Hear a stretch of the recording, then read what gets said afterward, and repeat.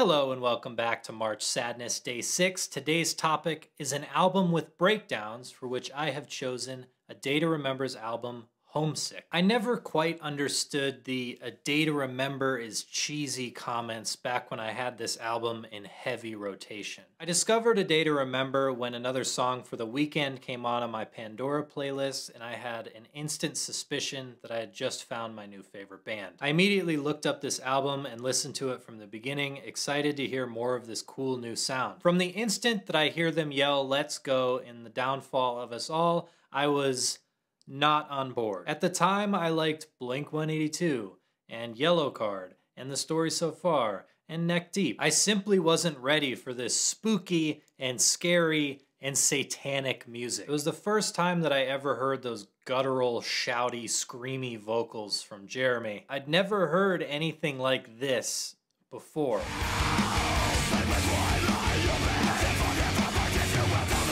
So I skipped a good chunk of the album for a long time. I just really hated the growly parts. So why did I want to talk about a day to remember in this installment of March Sadness? I'm supposed to pick albums that I love, right? Well, yeah.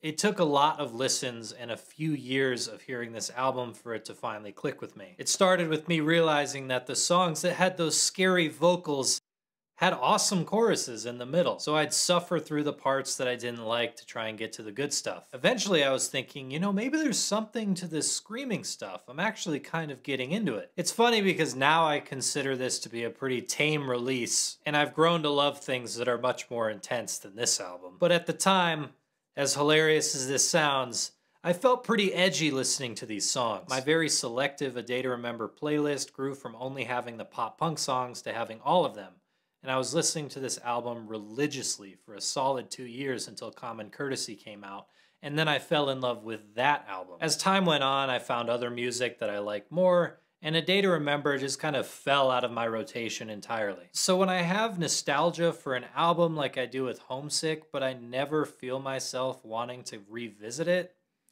it's a good chance I'm not going to like it when I go back to it. That's the case for me on almost all of Yellowcard, a lot of All Time Low, and yes, many of the A Day to Remember albums. In a way, I do love Homesick still because it was so formative to my music tastes, but there's really not much to this album. It's about friendship and traveling, which is fine and can be interesting, but Homesick doesn't feel very clever or witty lyrically. What does feel clever is how perfectly they're fusing these two genres together and how huge the choruses are. I mean, this album is packed tight with unforgettable musical moments and vocal deliveries.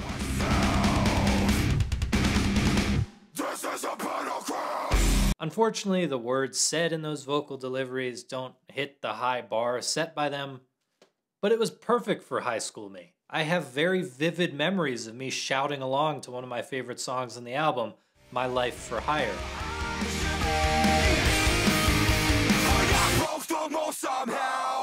Thinking back to me driving and screaming along to those lines is kind of wholesome for me, but also very corny. I've just got to laugh about it, and I like this song still, corny or not. So I stand by the songs on Homesick as being good, clean fun. And if you ask me if I love this record, I would say yes, I do. More importantly for me, it was the gateway drug that opened me up to more aggressive musical styles. Bands like Turnstile or Counterparts or La Dispute or One Step Closer, bands like that. I would love to know what you think of Homesick or what's your favorite album with breakdowns. Let me know in the comments.